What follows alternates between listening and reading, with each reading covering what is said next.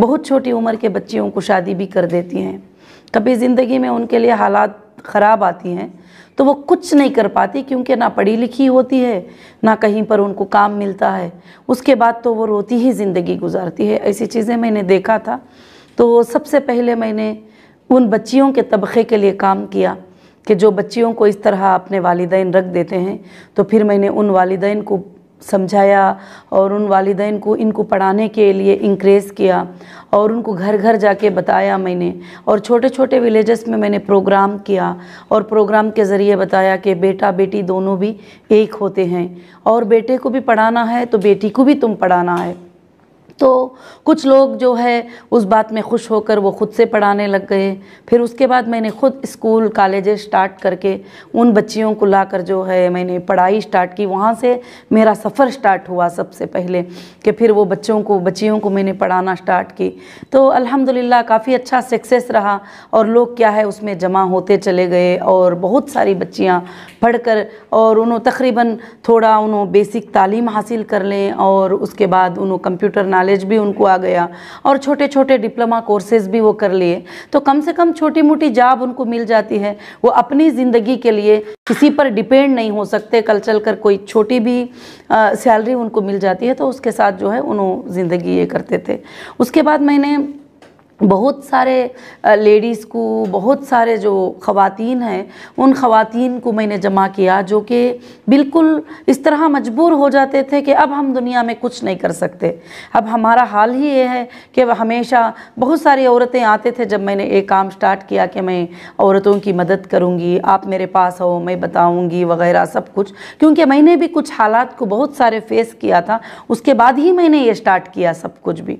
तो फिर वो औरतें आके बताते थे कि मैडम, हमको जो है कभी कुछ सौ रुपयों की भी ज़रूरत हो जाती है, या तो वो हमारे हस्बैंड से मांगना पड़ता है, या तो हमारे बाप से मांगना पड़ता है, जबकि वो लोग जो है उससे बेजार भी हो जाते हैं। कभी कभी देते भी नहीं, और कभी कभी उसकी वजह से बहुत गालियाँ भी सुनना पड़ता है, और हमको वो चीज़ें पूरे बड़े तकलीफ़ देती है। तो फिर मैंने अल्हम्दुलिल्लाह उनके लिए छोटे छोटे बिज़नेस स्टार्ट करना और उनको सिखाना कि किस तरह से वो एक तिजारत भी कर सकती हैं, वो कैसी हुनर कर सकती हैं। अगर वो बड़ी बड़ी पढ़ी लिखी भी नहीं है तो वो कैसे काम कर सकती हैं?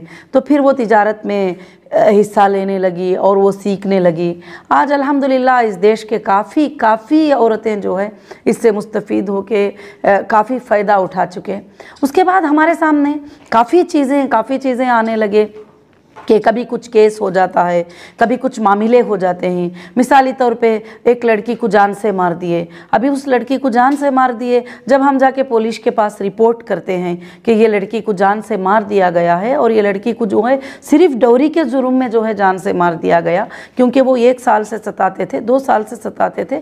हम पुलिस के पास पहुँचने से भी पहले उनको फ़ोन चले जाता था और पैसे भी चले जाते हैं और वो बोलते हैं कि नहीं नहीं, वो लड़की ने तो ऐसे मर गया, वो कुछ पागल थी। इस ऐसे कई एक नहीं, बल्कि कई चीज़ों को हमने देखा है कि वो जो मुजरिम होते हैं, उनको बिल्कुल से बिल्कुल जो है कि आसान से रास्तों पे छोड़ देते हैं। और जो उसके वालदेन होते हैं नहीं, जबकि पोस्टमार्टम किया गया है, उस बच्ची के जिसम के ऊपर सत्तर से ज़्यादा मार हैं, जो पूरे घर वाले पकड़ के मारे, मगर किसी को उसकी फ़िक्र नहीं है ख़ास कर से। तो ये चीज़ें देखते देखते देखते आए हैं तो फिर हम वुमेंस के ग्रुप में ये मीटिंग एंड डिस्कस हुए, ये कहाँ से चलता है? ये सिर्फ़ पॉलिटिक्स से चलता है। ये कहाँ से होता है? ये पॉलिटिक्स से होता है। किसी एमएलए को फ़ोन चले गया, वो एमएलए वहाँ के सीएम को एसीपी को फ़ोन कर दिया और वहाँ के कमिश्नर को फ़ोन कर दिया तो वो भी बेचारे दब जाते हैं और वो चीज़ को बिल्कुल से बिल्कुल दबा देते हैं, ले जाके उसको दफन कर देते हैं। तो उसका हमको लगता है कि मेरे सामने ऐसे काफ़ी, मेरे बुक में ऐसे काफ़ी केसेस हैं, जिनको बिल्कुल से बिल्कुल जो है कि इंसाफ नहीं मिल सकी। उनकी माँ रोती फिर रही है, उनके बाप रोते फिर रहे क्योंकि उनके पास पैसे नहीं।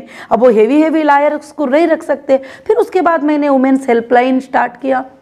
वुमेंस हेल्पलाइन स्टार्ट करके फिर लीगल लायर्स को जो है इंडिया के एवरी डिस्ट्रिक्ट में मैंने लीगल लायर्स को अपॉइंट किया। फिर मैंने जो भी ऐसे केसेस आते थे, उनकी फ़ीस पे करके, जो भी हो सकता था तो उनको वो काम किया। तो फिर दो तीन साल पहले अल्हम्दुलिल्लाह, फिर ये इरादा आ गया कि नहीं, अब हम ख़वातीन को भी जो है पॉलिटिक्स में जाना बहुत ज़रूरी है। अगर वही एक औरत होती उस औरत के पास जाकर अगर कोई औरत रोती कि मेरी बच्ची को मार दिया गया है तो उसको समझ में आता वो कभी काल नहीं करती कि उस मुजरिम को बचाने के लिए। क्योंकि वो औरत होती है, उसके दिल को दर्द होता है और उसको पता होता है एक औरत की तकलीफ़ क्या होती है। ऐसे बहुत सारे चीज़ें मैंने महसूस किया है। किसी को डौरी पे मार देना, किसी को बच्ची को जो है पेट में मारने के लिए जुल्म करना, उसके घर वाले पूरे, जबकि वो नहीं चाहती है तो उसको कहना कि नहीं, अब लड़की गर्भ में है, उसको तो निकालेगी तो हमारे घर में मेरी बीवी बन के रहेगी और तू मेरी फलाम बन के रहेगी। और वो सिर्फ़ एक मज़हब वाले लोग नहीं, बल्कि ये बच्चियों का मारना पूरे मजहबों वालों के अंदर कि बेटी अगर कहते हैं, बेटी अगर पैदा हो जाती है तो चेहरे से पानी पूरा उतर जाता है उनका। मगर उनको नहीं मालूम कि वो बेटी अगर पैदा होगी, बड़ी होगी, हो सकता है वो हज़ारों के लोगों को रोज़ी देने वाली बन सकती है, हज़ारों के लोगों को फ़ायदा पहुँचाने वाली बन सकती है, हज़ारों लोगों के लोगों को वो कुछ भी करने वाली बन सकती है। ऐसे काफ़ी चीज़ें जो है मेरे लाइफ में मैंने प्रैक्टिकली देखा है कि ऐसी औरतों को मैंने देखा है। और मैंने वो बच्चियों को भी मैंने देखा है कि वो बच्चियाँ जो आकर मुझे खांधे पे सर रख के रोती हैं कि, मैडम, हमको जो है ऐसी तकलीफ़ है। मैं बोली, बेटे, क्या तकलीफ़ है? क्या बात है? क्या तकलीफ़ है तुमको? तो वो कहते हैं कि, हमारा बाप हमको हरास कर रहा है घर में। जब हमारी माँ जाप को जाती है तो हमारा बाप हमको जो है बुराई करने के ऊपर मजबूर करता है। तो आप बताइए कि जो बाप बेटी को साथ देना है, जो बाप बेटी को सपोर्ट करना है, जिस बाप को बेटी अपना प्रोटेक्शन मानती है, अपना प्रोटेक्टर मानती है, हर मज़हब में, हर किताब में लिखा गया है कि बाप उसके लिए सब कुछ होता है। तो वो बेटी जब बाप के पास भी अगर सेफ़ नहीं है, सब लोग नहीं। सौ में से एक कोई गंदा ऐसा इंसान हो, सौ में से दो कोई ऐसे गंदे इंसान हो, मगर वो पूरे माशरे के लिए जो है, एक बहुत बड़ी खौफ की बात हो जाती है कि जो बच्ची को एक माँ अपने बाप के पास भी अगर हिफाजत नहीं समझेगी तो फिर वो कैसे जी पाएगी?